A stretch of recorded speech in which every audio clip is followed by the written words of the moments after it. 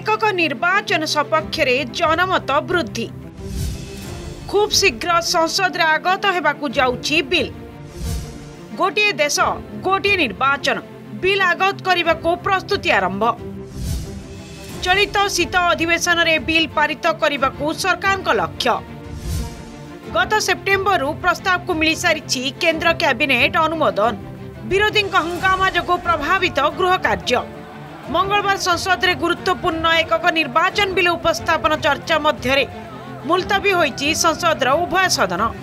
December दुई जाँच चाहिँ चलित शीत अधिवेशन गोट गोट निर्वाचन बिल पारित लक्ष्य सरकार बिल को नै विस्तृत आलोचना पनि जुग्म संसदीय कमिटी बा जेपिसि निकटको पठाइ सबु राजनैतिक दल र सदस्य चर्चाले सामल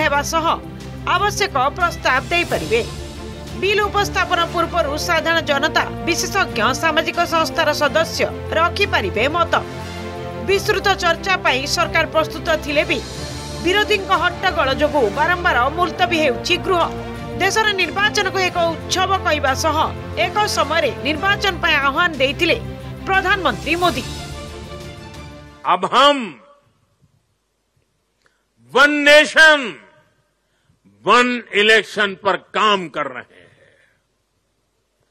जो भारत के लोकतंत्र को मजबूती देगा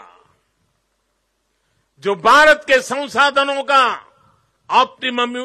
आउटकम देगा और देश विकसित भारत के सपने को पार करने में और नई गति प्राप्त करेगा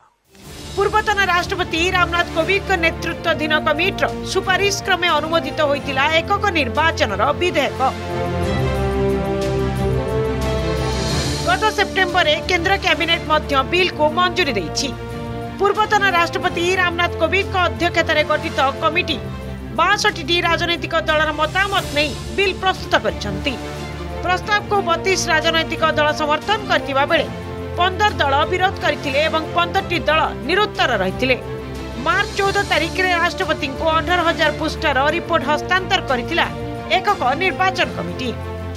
प्रस्ताव अनुसार सारा देश देशले एक सागर हे लोकसभा विधानसभा निर्वाचन एमपी एमपिएमएलए निर्वाचन शहेद दिन मध्य भली लोकल बॉडी इलेक्शन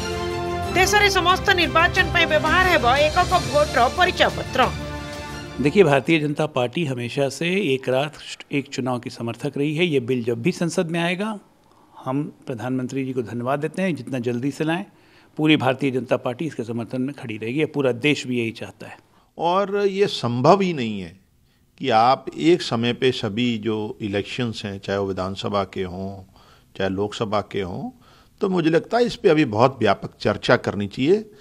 देश की सरकार को जल्दबाजी में ये कानून नहीं लाना चाहिए एकक निर्वाचन बिल संसद में पारित होगा पर एका सांगे हेब लोकसभा और विधानसभा निर्वाचन या फल निर्वाचन कमिशन चाप कम कम आर्थिक व्यय